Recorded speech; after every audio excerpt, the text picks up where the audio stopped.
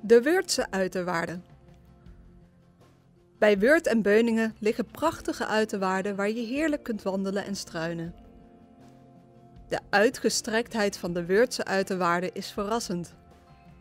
Een bijzonder stukje is het Weurtse straatje. Dat was oorspronkelijk een uit de 11e eeuw stammende middeleeuwse dijk, waar de koeien naar de omliggende weiden liepen.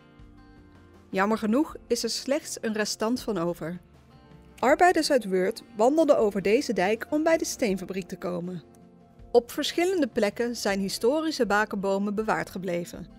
Bakenbomen waren vroeger onmisbaar voor de schippers. Bij slecht zicht of hoog water fungeerden de bomen als baken. Ook zijn er in de uiterwaarden op verschillende plekken markante grensbomen aanwezig.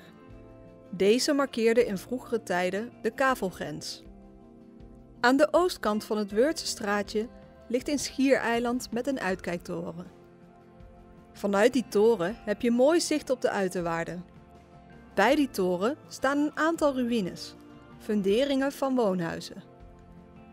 In de jaren 30 van de vorige eeuw was hier in de buurt een openluchtzwembad, genaamd Lido.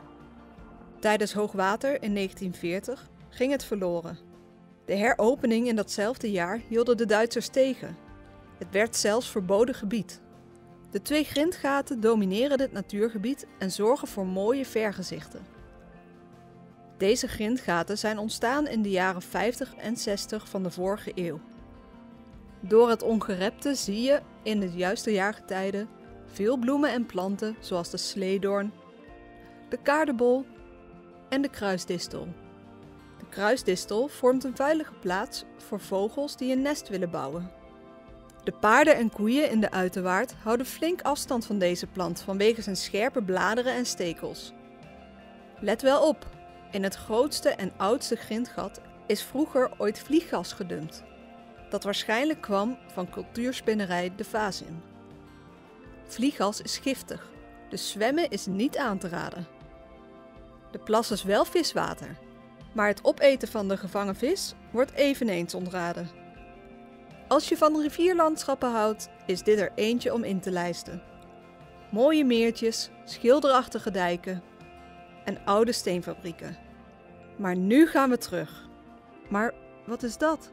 Mag ons team hier niet langs? Dat bord was ons ontschoten. Oh, sorry hoor. Jongen, jongen, wat een opstandig baasje is dat zeg.